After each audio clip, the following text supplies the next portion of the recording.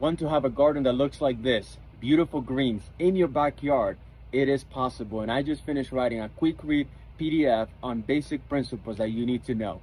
Click the link below to get access.